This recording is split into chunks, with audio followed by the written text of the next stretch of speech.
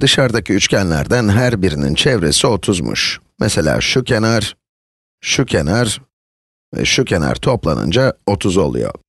Bu dış kısımdaki tüm 5 üçgen için de geçerli. FGHIJ beşgeninin çevresi de 50 olarak verilmiş. FGHIJ şurada gördüğünüz beşgen, şu.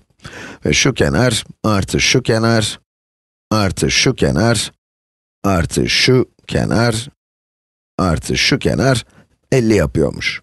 Yıldızın çevresinin ne kadar olduğunu bulacağız. Yıldızın çevresi üçgenlerin tabanlarını çıkarırsak geriye kalan kenarların toplamıdır. O zaman üçgenin çevresi turuncu renkte yapayım şöyle. Bu artı bu artı bu artı bu artı bu artı bu sanırım anladınız artı bu bu artı bu ve bu.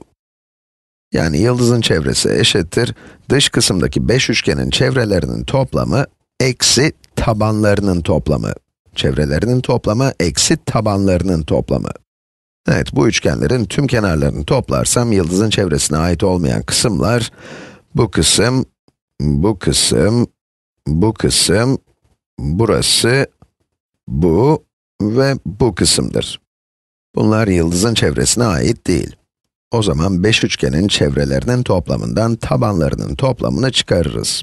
5 adet üçgenin çevrelerinin toplamı nedir? Bir üçgenin çevresi 30 olduğuna göre 5 tanesinin toplamı 150 olur. Değil mi? Bu 150'den tabanları çıkaracağız. 5 adet tabanın toplamı da bu iç kısımdaki beşgenin çevresine eşit, değil mi? İç kısımdaki beşgenin çevresi de verilmişti. 50 idi, değil mi? O zaman yıldızın çevresi 150 eksi 50 eşittir 100 olacak. Üçgenlerin çevresinden tabanları yani iç kısımdaki beşgenin çevresini çıkardık ve sonucu bulduk. Çok güzel, şimdi öteki soruya bakalım. Bu dörtgenin alanı nedir? Dört kenarı olan ABCD dörtgeni. Daha önce gördüğüm şekillere pek benzemiyor. Sağ taraf dikdörtgene benziyor, sol tarafta üçgene benziyor. Aslında bu bir yamuk. Bunu tanıdığımız şekillere ayırabiliriz, bu yamuğu. Öncelikle A'dan aşağıya bir çizgi çekelim, şöyle. 90 dereceyle bu kenarla kesiştirelim, şöyle. Kesiştiği noktaya da E diyelim.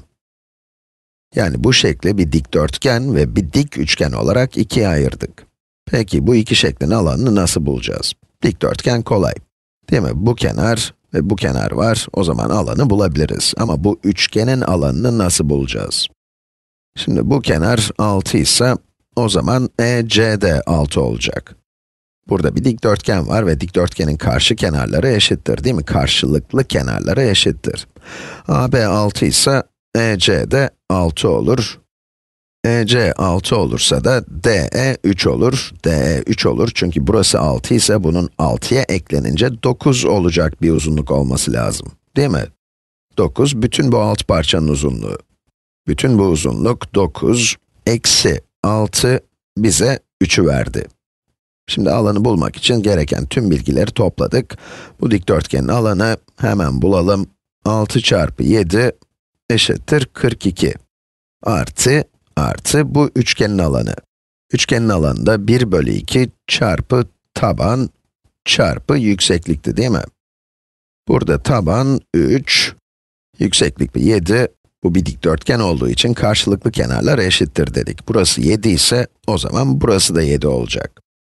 Şimdi 1 bölü 2 çarpı 7 çarpı 3 eşittir. 3 kere 7, 21 bölü 2 eşittir 10 buçuk. O zaman bütün şeklin alanı 52 buçuk oldu. Bir tane daha yapalım. Burada da yine garip bir şekil var ve çevresine hesaplamamız istenmiş. Bu durum biraz ürkütücü gelebilir çünkü sadece bu kenar, bu kenar ve burada da bu kenarı vermişler.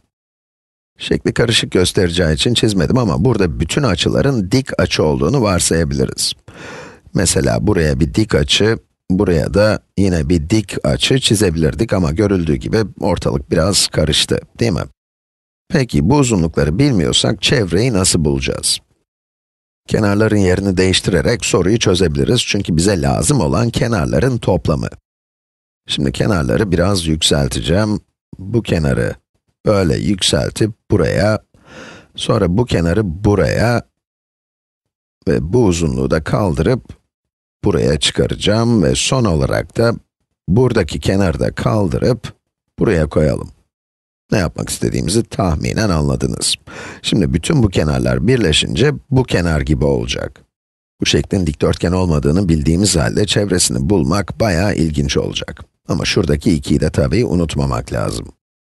Şimdi yukarıdan aşağıya uzanan kenarlara bakalım.